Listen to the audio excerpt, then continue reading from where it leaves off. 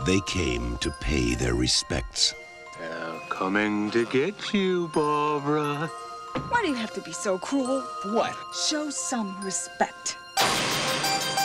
Now they're running for their lives. A biologist in Stockton, California have released reports focusing on the phenomenon, specifically on that trance-like state.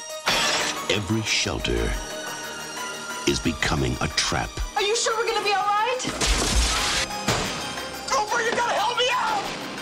Every road out Don't stop no matter what happens. is just another dead end. They're coming right for us.